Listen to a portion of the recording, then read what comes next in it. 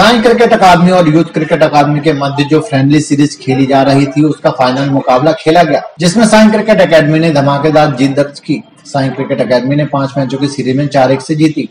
जिसमें final match of the match Jeetu Kushwaha रहे और man of the series Sunil Kushwaha रहे। मुख्य अतिथि के रूप में upper collector Guna CO Rakesh Sharma, Dinesh Raghuvanshi और गोपाल ओझा शामिल रहे।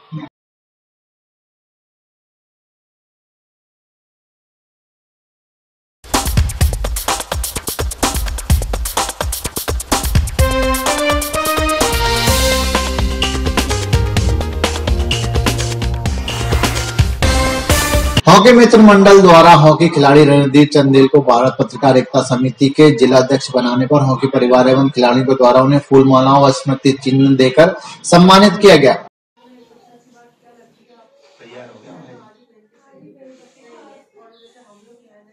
पकड़ो आप तो तुम ही दे दो।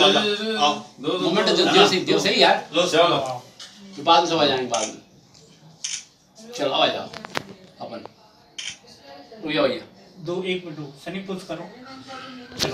इस अवसर पर बलवंत सिंह, शक्ति सिंह, अग्रवंशी, राजेंद्र जगवाल, राकेश वैष्णव, जीतू अग्निवासी उपस्थित रहे।